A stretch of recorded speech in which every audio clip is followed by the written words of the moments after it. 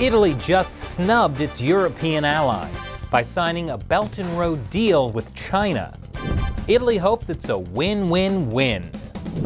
But history suggests China might get most of the wins. Welcome back to China Uncensored. I'm Chris Chappell. Italy. It might look like a worn out old boot, but it's brought the world historic masterpieces like the Sistine Chapel, the Mona Lisa, and of course the most magnificent of all, pizza. Now that is a work of art. This past weekend, Italy again made history by ignoring the advice of its allies and becoming the only G7 country to sign up for China's global infrastructure project, the Belt and Road Initiative. Or as it was initially known, One Belt, one really bad idea for every country except China. Italy rolled out the metaphorical red carpet when Chinese leader Xi Jinping and First Lady Peng Liyuan arrived in Rome last Thursday. The next day, Xi Jinping met with Italy's president, Sergio Mattarella. And like those corporate emails that everyone hates, Xi Jinping was all about the synergy and cooperation. We want to strengthen the synergies between our respective development strategies to enhance cooperation in the infrastructure, port, logistics, and maritime transport sectors. But President Mattarella was all like, win win must not mean China wins twice. The ancient Silk Road was an instrument of knowledge among peoples and a tool to share reciprocal discoveries. Even the newest Silk Road must be a two-way street. Kudos there to the very professional translation done by Mario. Anyway, you can't blame President Mattarella for emphasizing the two-way street part, although you can maybe blame him for signing the deal in the first place. Because the Chinese regime has a shady history of lending money to countries for its own gain, like when debt-ridden Sri Lanka couldn't pay back a big Chinese loan and had to sign away its seaport. Or when cash-strapped Greece absorbed a ton of Chinese capital and sold the port of Piraeus to a Chinese state-owned company. Of course, Greece was grateful for the money. So grateful that they even helped block EU criticism of China's terrible human rights record. And now comes Italy with its crushing public debt. But instead of austerity, Italy's populist government has promised to use even more state spending to climb out of the recession. Plus, Italy has some crumbling infrastructure that desperately needs fixing. They can't depend on tourists to hold it up forever. But I was more thinking about the modern infrastructure, like the Genoa Bridge that collapsed last year.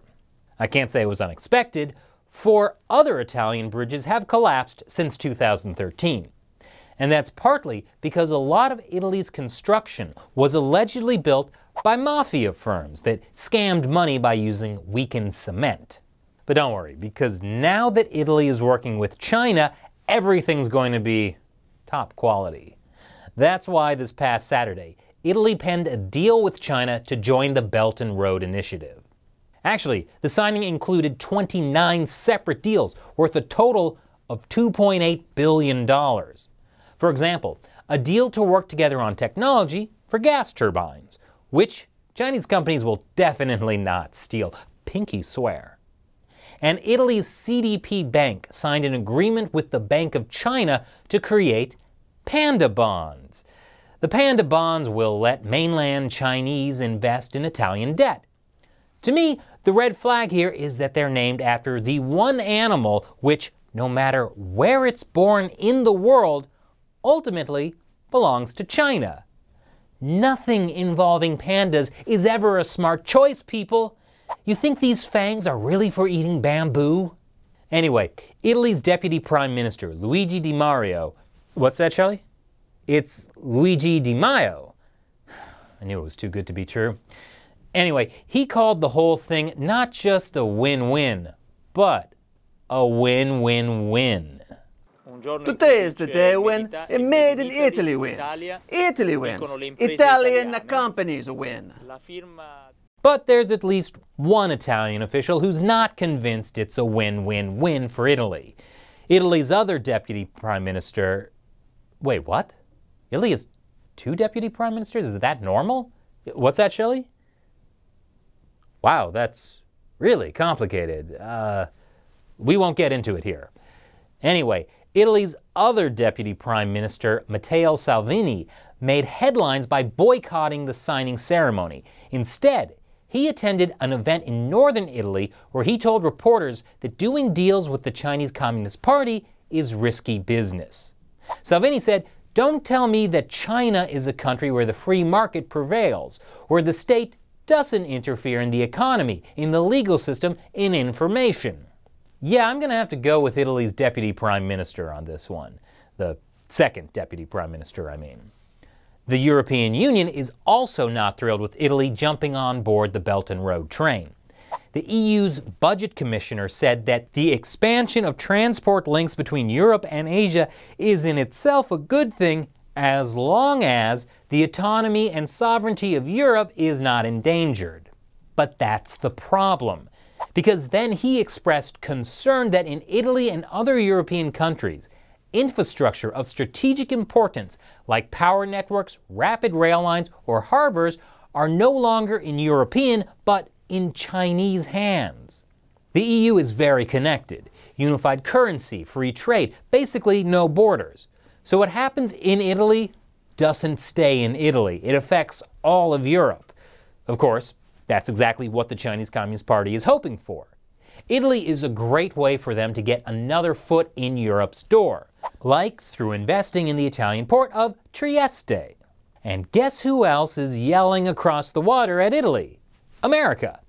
The National Security Council said in a tweet that Italy is a major global economy and a great investment destination. Endorsing BRI lends legitimacy to China's predatory approach to investment and will bring no benefits to the Italian people.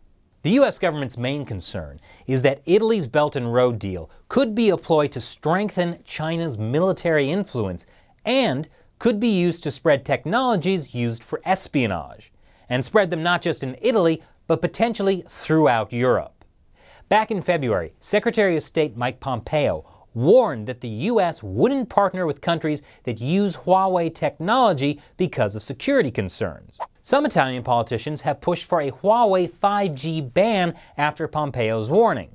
But Deputy Prime Minister Luigi Win Win Win Di Maio doesn't seem the slightest bit concerned. He told CNBC that the deals he signed contained nothing for them to worry about, nothing related to 5G or any agreement on strategic telecommunications. And then he says, there's always golden power. Golden power is special legislation that gives the Italian government greater control over strategic assets. But now that China's got its first G7 country hitched up to the Belt and Road train, time will tell what win win win really looks like. So, what do you think about Italy signing on to the Belt and Road? Leave your comments below. And now, it's time for me to answer a question from one of you fans who support China Uncensored through the crowdfunding website Patreon. The Maddest Hatter asks, do you think the Belt and Road Initiative is inherently bad, or do you think it could benefit everyone if the CCP stopped using debt traps and turned it into a more cooperative venture? Good question. Investment is not inherently bad, but with the Belt and Road Initiative, you have to consider the Chinese Communist Party's strategic purpose behind the investment, and you can tell by what they're investing in. China is investing in technology partnerships and raw materials.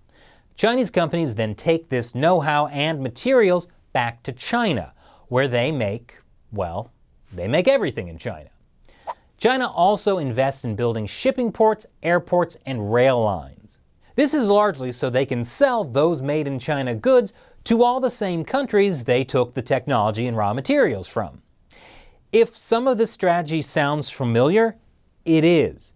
It's like what European colonizers did back in the day. Take other countries' raw materials, manufacture everything in Europe, and then sell them finished goods, but don't encourage those countries to do their own manufacturing. And who got rich in that scheme? The colonizers. So the Belt and Road strategy is inherently designed to exploit other countries, not to mention building military bases like the one in Djibouti. In that sense, the Belt and Road Initiative is fundamentally problematic. I don't think it could ever be turned into a truly cooperative venture because that's just not what it's designed to do. Thanks for your question, Maddest Hatter. And thank you for watching China Uncensored. Support our show through the crowdfunding website Patreon with a dollar or more per episode. Once again, I'm Chris Chappell. See you next time.